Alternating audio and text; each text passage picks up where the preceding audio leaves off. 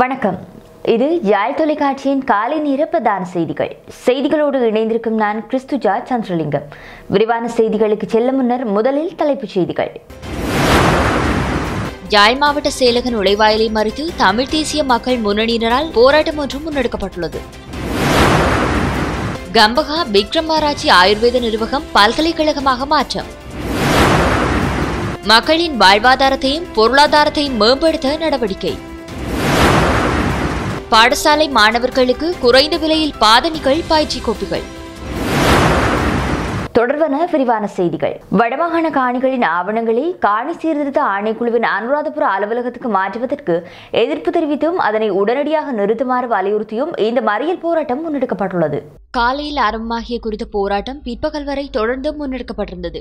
இறுதியில் குறித்த விடயம் தொடர்பான மகஜர் ஒன்றினை யாழ் மாவட்ட அரசாங்க அதிபர் கணபதி பிள்ளை மகேசனிடம் கையளித்துள்ளனர்.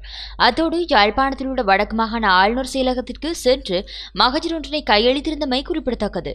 கம்பகா விக்ரமாராய்ச்சி ஆயுர்வேத நிர்வாகத்தை பல்கலைக்கழகமாக மாற்றும் திட்டத்தின் ஆரம்பகட்ட நிகழ்வு கொழும்பு பண்டாரநாயக சர்வதேச மாநாட்டு மண்டபத்தில் இடம்பெற்றுள்ளது. இதன்போது இந்த பல்கலைக்கழகத்தின் கீதம் கொடி என்பன ஜனாதிபதியினால் வெளியிடப்பட்டதாக குறிப்பிடப்பட்டுள்ளது. ஆயுர்வேத மருத்துவம் குறித்த அறிவு மக்களுக்கு கிடைக்க வேண்டும் என்ற நோக்கில் ஆயிரத்தி தொள்ளாயிரத்தி இருபத்தி ஒன்பதாம் ஆண்டு இந்த நிர்வாகம் ஆரம்பிக்கப்பட்டுள்ளது.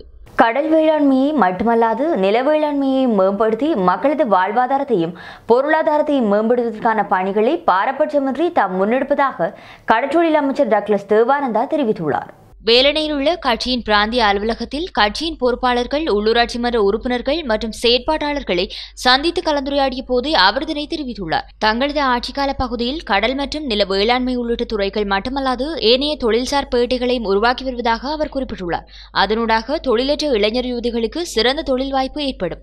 அவ்வாறே தீவக பகுதியிலும் கடல் மற்றும் நில வேளாண்மையை மக்களிடையே அதிகளவில் ஊக்குவிப்பதற்கான நடவடிக்கைகள் தற்போது முன்னெடுக்கப்பட்டு வருவதாகவும் அமைச்சர் டக்ளஸ் தேவானந்தா தெரிவித்துள்ளார். பாடசாலை மாணவர்களுக்கான பாதணிகள் மற்றும் அப்பியாச புத்தகங்களின் விலைகளை குறைக்க நடவடிக்கை மேற்கொண்டுள்ளதாக அமைச்சர் பந்துல குணவர்த்தன தெரிவித்துள்ளார்.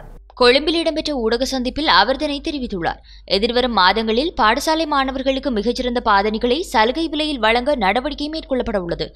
முன்னூறு ரூபாய் விலை குறைப்பு செய்து பாதணிகளை சந்தைக்கு விடுவிக்க நடவடிக்கை எடுக்கப்படுகின்றது. அதே நேரம் அரசு அச்சக கூட்டுத்தாபனத்தின் மூலம் அப்பியாச புத்தகங்களின் சந்தை விலையை குறைப்பதற்கு ஆலோசனை வழங்கப்பட்டுள்ளதாகவும் அமைச்சர் பந்துல குணவர்த்தன தெரிவித்துள்ளார். யாழ் மல்லாகம் சந்தியை அண்மீத பகுதியில் நண்பர்களுடன் பேசிக் கொண்டிருந்த நபர் மீது வாழ்வெட்டு குழு தாக்குதல் நடத்தியுள்ளது. குறித்த சம்பவம் இரவு ஒன்பது மணியளவில் இடம்பெற்றுள்ளது. சம்பவத்தில் ஆசிரியர் ஒருவர் வாழ்வெட்டுக்கு இலக்கான நிலையில் தெல்லிப்பளை வைத்தியசாலையில் அனுமதிக்கப்பட்டு மேலதிக சிகிச்சைகளுக்காக யாழ் போதரா வைத்தியசாலையில் அனுமதிக்கப்பட்டுள்ளார். மோட்டார் சைக்கிளில் வந்த மூன்று பேர் கொண்ட வாழ்வெட்டு குழு தாக்குதலை நடத்திவிட்டு தப்பிச் சென்றுள்ளது. யாழ் நகரில் உள்ள காகல்ஸ் திரையரங்க பணியாளர்கள் ஏழு பேருக்கு கொரோனா தொற்று உறுதிப்படுத்தப்பட்டுள்ள நிலையில் மூன்று நாட்களுக்கு திரையரங்கு முடக்கப்படுவதாக மாகாண சுகாதார பணிப்பாளர் ஆ கேதீஸ்வரன் தெரிவித்துள்ளார். யாழ்ப்பாணம் பல்கலைக்கழக மருத்துவப்பீட ஆய்வுக் கூடத்தில் முன்னூற்றி ஒன்பது பேரின் மாதிரிகள் பிசிஆர் பரிசோதனைக்கு உட்படுத்தப்பட்டன. அவர்களில் பத்து பேருக்கு கொரோனா தொற்று உள்ளமை கண்டறியப்பட்டுள்ளது. அவர்களில் ஏழு பேர் யாழ்ப்பாணம் காகல்ஸ் கட்டிட தொகுதியில் உள்ள திரையரங்கில் உள்ள திரையரங்கில் பணியாற்றும் பணியாளர்கள். அந்த திரையரங்கில் பணியாற்றுபவருடன் தொடர்புடைய ஒருவருக்கு தொற்றுள்ளமையை அடுத்து திரையரங்கு கடந்த இரண்டு நாளாக மூடப்பட்டுள்ளது. அங்கு பணியாற்றுபவர்கள் முடக்கப்பட்ட நிலையில் இன்று பிசிஆர் பரிசோதனைக்கு உட்படுத்தப்பட்டுள்ளனர். அவர்களில் ஏழு பேருக்கு தொற்று உள்ளமை உறுதிப்படுத்தப்பட்டுள்ளது. மகாசிவரா சிவராத்திரி விரதத்தை இந்து ஆலயங்களில் சிறப்பாக அனுஷ்டிப்பதற்கு தேவையான ஒழுங்குகளையும் ஊக்கப்படுத்தலையும் வழங்குமாறு பிரதமர் மஹிந்த ராஜபக்ஷ இந்து கலாச்சார அலுவல்கள் திணைக்களத்திற்கு பணித்துள்ளார். சிவராத்திரி விரதத்தை இந்து ஆலயங்களில் சிறப்புற நிகழ்த்த ஊக்கப்படுத்துமாறும் இந்து சமய கலாச்சார அலுவல்கள் திணைக்களத்திற்கு பிரதமர் அறிவுறுத்தியுள்ளார். மகா சிவராத்திரி விரதத்தை மிகச் சிறப்பாக ஏற்பாடு செய்வதற்கு இந்து சமய கலாச்சார அலுவல்கள் திணைக்களத்தால் பிரதேச செயலங்களூடாக தெரிவு செய்யப்பட்ட ஆலயங்களுக்கு நிதி வழங்கப்பட உள்ளதாக பிரதமர் அலுவலகம் விடுத்துள்ள அறிக்கையில் குறிப்பிடப்பட்டுள்ளது.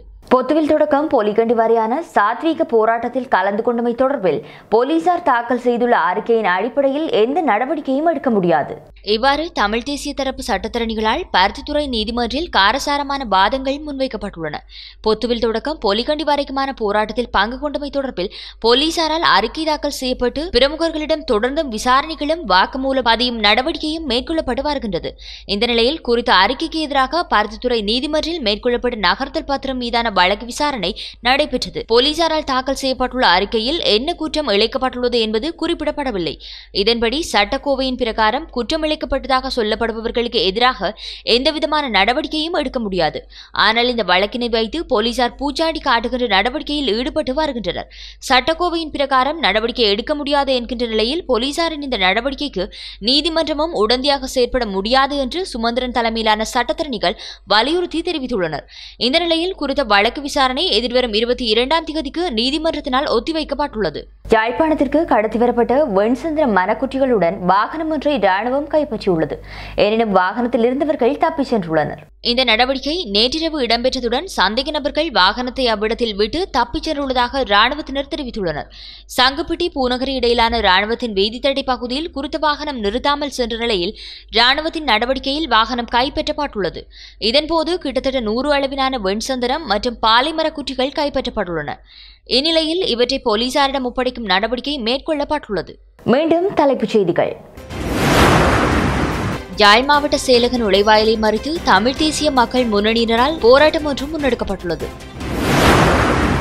கம்பகா விக்ரமாராய்ச்சி ஆயுர்வேத நிர்வாகம் பல்கலைக்கழகமாக மாற்றம். மக்களின் வாழ்வாதாரத்தையும் பொருளாதாரத்தையும் மேம்படுத்த நடவடிக்கை. பாடசாலை மாணவர்களுக்கு குறைந்த விலையில் பாதணிகள் பயிற்சி கோப்பிகள். இதுடன் யாழ் தொலைக்காட்சியின் செய்திகள் நிறைவடைகின்றன. தொடர்ந்தும் யாழ் தொலைக்காட்சியோடு இணைந்திருங்கள். வணக்கம்.